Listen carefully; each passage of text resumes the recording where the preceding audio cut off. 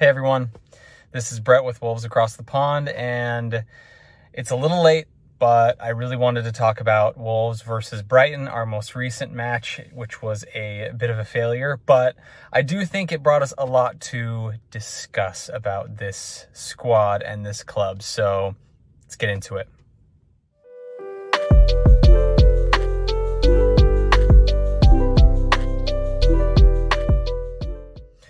All right, so like my other videos, this one's going to be a little off the cuff. I've been kind of ruminating and letting this marinate in my mind over the last couple days, and um, there's a lot of different things I've been thinking about, so I'll just jump right into it. So first of all, obviously not a great result. You never want to see 4-1. I mean, at least it wasn't 4-0, but you still never want to see 4-1. That's just a, a shame.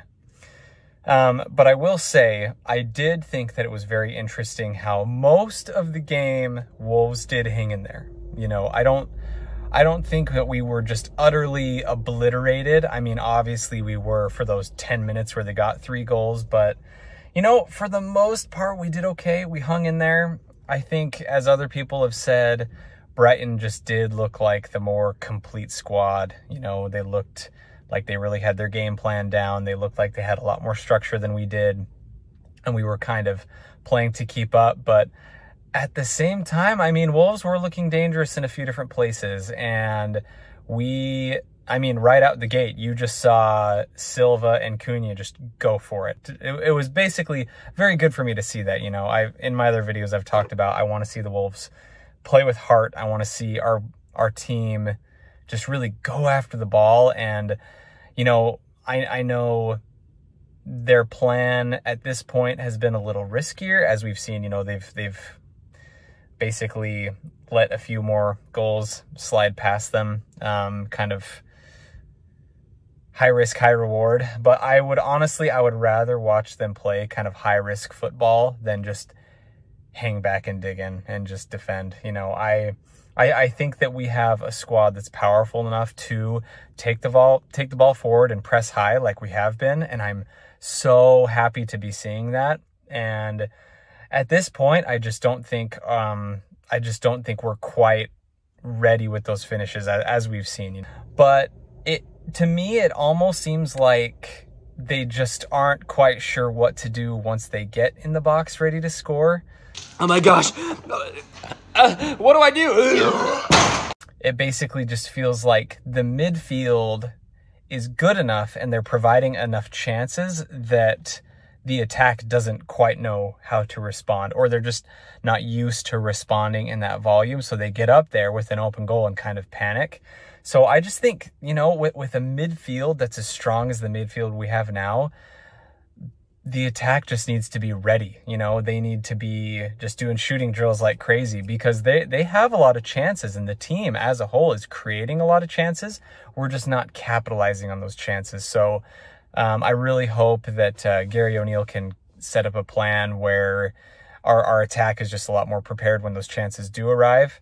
Um, it, it, it's kind of funny. It made me think of that line from Sherlock Holmes to Game of Shadows where he's like, how many windows must I provide? you know, that that's really how this has been the last two games. And so that actually brings another point is uh, um, Nunes's frustration. You know, you we saw that boil over this game. He got really, really frustrated, pushed over a couple players.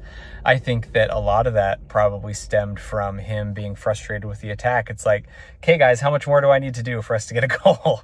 you know, so I, I think I can see the midfield getting a little frustrated that we haven't been able to capitalize on the chances that they're creating. Um, but I do think that that's just around the corner. I, I do think that very soon we will be able to kind of marry that attack to that really strong midfield presence and that we'll be able to really be like a high scoring team. You know, there there's no reason that we shouldn't be a high scoring team at this point, which is so great to say because we haven't been that for the last couple years. We we've been a defending team, just not giving up a lot of goals but not scoring. That's been our terrible reputation as Wolves have trouble with goals. They never score which is a shame because, you know, we're wolves. We should have teeth. We should be attackers, aggressors, and we should be scoring a lot. And um, we just haven't been. But I think that once they get this plan under control, I think that we will be able to be a high scoring team. And I think we have the potential to do that. I do think maybe they could use a little more backup if they were able to bring in someone um, during the transfer window before it closes.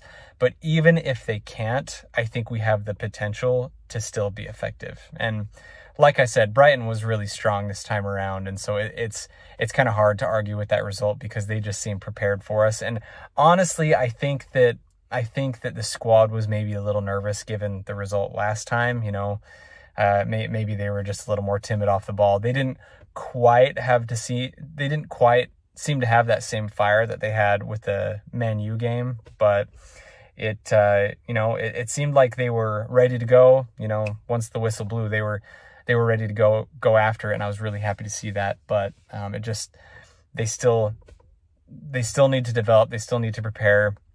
I was surprised how much the defense struggled, especially during that 10 minute window to get to get back on goal. They were just being outran by by everyone. Just seemed like they weren't they weren't ready to get back and defend when the time came. So I'm I'm hoping that Gary O'Neill can also kind of put something into place where there's a little more structure there. They they can get get back and defend more quickly when the time comes. But you know, overall, I I think it was not a great performance. You know, that we just had that kind of middle section where we let those goals slip and that's that's that's never encouraging but i think that that is going to be much more of an outlier situation than a commonality this season. I think that for the most part wolves will be able to hold their own and once we get that scoring under control we're going to be a really tough team to play. So um, those are my thoughts. Um, I'm very interested to see what happens, you know, with these next few games coming up. Um, I'm very excited to see what developments happen as Gary O'Neill continues to develop the squad and continues to um, kind of develop his own game plan and hopefully fill in some of the gaps that we saw in the Brighton game. Um, but either way, you know, love this squad. I love these players. You know, I, I'm really happy that Hwang Hee-chan got to come on and and do his thing and get us a goal that whenever I see him succeed, it, it, just warms my heart. I, I love him as a player and I think that he has so much potential and that he, he could be a, you know, a really strong player for us going forward. So, um, but anyway, hope you guys have an excellent day. Thank you so much for tuning in and, uh, yeah, we'll just keep our eyes forward and look ahead. And here's to many more games that will go much better than this one did. So we'll see you next time.